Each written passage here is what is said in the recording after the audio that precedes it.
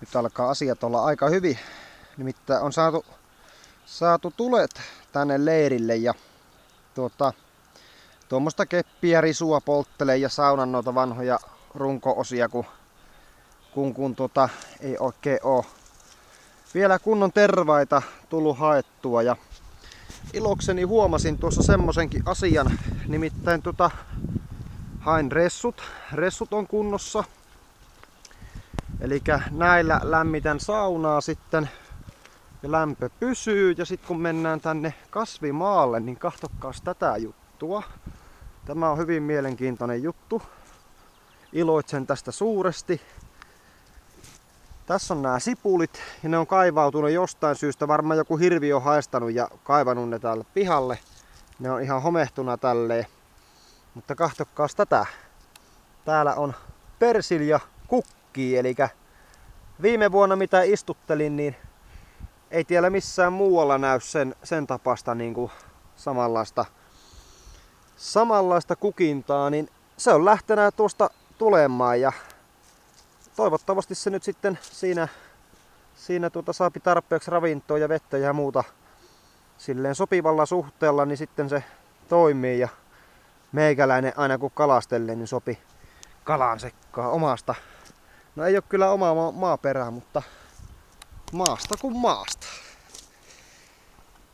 Ei tarvitse kaupasta joka kerta käydä ostamassa mausteita, kun täältä löytyy jo maasta. Joo. Tämmönen meininki tälle aamulle. Minun pitää lähteä kohta käymään pesulla. Minä on aika, aika tota, hikinen ollut. En ole kyllä enää, mutta ollut kylläkin ja pitää tulta yllä. Kävin tuossa vähän jo vettä hakemassa ja, ja radiot laitoin. Yle puhetta nyt, ei muu kanava kuulu kuin Yle puhe, mutta on siellä nykyään musiikkiakin näköjään, niin sitä sitten kuunnellaan ja katsellaan mitä sieltä tulee. Paikallisia säätiedotteita ja tosiaan tämä kelitilanne tällä hetkellä on sellainen vähän semmonen ja tämmönen, että, että tota, pilviä on ihan joka paikassa. Ja voipi sanoa näin, että on kyllä tota, on kyllä tota noin niin varmaan vettä luvassa, että siltä ei voi välttyä, mutta eipä se mitään haittaa. Siitähän se pyörähtää tää tiistai, ensimmäinen päivä täällä Raajärvellä 2018. Onko se 17.6. kun se tänään on ja se olisi juhannusviikko. Juhannusviikko ja sitten tosiaan saunan lämmitystä on luvassa tuossa viikonloppuna ja tää kaupoilla käydä jossain välissä ostamassa vähän tuorempaa evästystä. On mulla tuossa juustoja ja leipää ja pärjään kyllä niillä.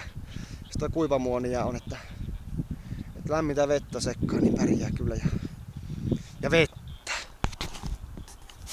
Joo. Jossain menee joutsenia. Tuolla jossain kuuluu joutsenien laulu. Kyllä. Voiko, tarvitseeko ihminen mitään muuta? No kyllä varmaan tarvitsee, mutta näillä pärjää aika pitkälle. Leirielämää, joo, on se mielenkiintoista.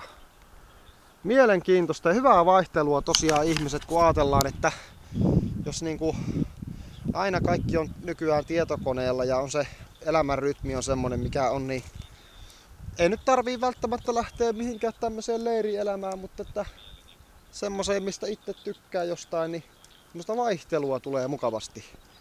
Sitten pientä matkailua siinä lomassa ja näkee vähän taas Suomea uudestaan samalta eri, eri kantilta, samalta, samalta suunnalta kuitenkin, että ellei sitten matkaile jonnekin, jonnekin uuteen paikkaan. Joo. No, näihin tunnelmiin tällä erää. Ja tota, mie yhtään tiedä minkälaisia jaksoja mie meinaan kuvata. Mulla on ihan utopiaa nyt tää homma, että mitä mie tässä kuvaan. Ja tämän kameran kanssa pyörin ja häärin sun muuta, että katsotaan nyt sitten, mutta tota, ideana kuitenkin tämmöisiä pätkiä kuvailla ja näistä päivistä jollain tavalla. Me varmaan dokumenttia tällä kertaa tee, mutta koitetaan saada kalastamista ja muuta filmille jossain välissä myös. Ja saunan lämmitystä. Voisi tehdä vaikka jonkun semmoisen voisi sanoa, että se on opetusvideo, vaan semmonen masalan video, että mitenkä minä tämän homman niinku teen.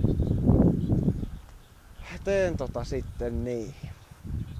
No, näihin palataan vielä sitten seuraavissa videoissa, mutta tää video oli tällainen ja näin, näin on niinku päästy leirielämässä alkuun ja tällä pääsee aika pitkällä sanoisin näin. Nyt on sadesuoja, pääsee, pääsee suojaa ja tulhet vähän antaa savua ja hajua ympäristöön, tietää karhut ja muut metsäeläimet, missä täällä kukin, kukin revirillään sitten liikkuu, kun toi pyörii tuo savukin joka paikkaan, niin se on piru hyvä, kun tuolla jossain, jos menee kilometrin päässä karhu, niin se haistaa saman tien, aha. Ja kuuleekin varmaan tämän mölinä ja älinä, että tota sen puoleen, niin asiat on aika hyvin. No, eipä siinä jatketaan näitä töitä ja, ja tota, muita hommia.